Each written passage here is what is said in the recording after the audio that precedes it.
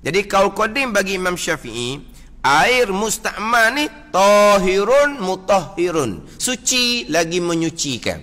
Ha, di pandangan Imam Syafi'i kaul qadim. Air musta'mal ha, suci lagi menyucikan. Cuma air musta'mal tadi kalaulah kita gunakan untuk membasuh najis tidak makruh kalau kita menggunakan untuk berwuduk makruh jika ada hak lain. Ha gitu je. Ha, ini sama dengan pandangan mazhab Maliki. Kau qadim bagi Imam Syafi'i uh, air musta'mal suci lagi menyucikan. Basuh najis tak makruh. Kalau kita ambil semayang, uh, makruh jika ada hak lain.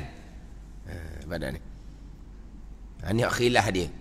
Kemudian mazhab Hanafi pula Mazhab Hanafi ni air mustakmal hak lekat di tubuh kita tu je. Hak dah bekas air tu dah di mustakmal. Ha?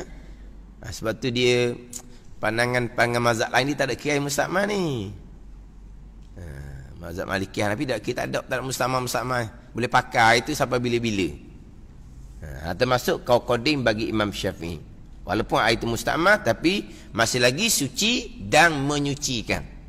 Ha, ni hak suci yang tidak menyucikan ha, ini pandang, hak pandangan muktamad dalam mazhab syafi'i. Ha, kemudian mustakmal jangan lupalah yang digunakan untuk mengangkat hadas saja yang dihukumkan itu mustakmal dan yang terpakai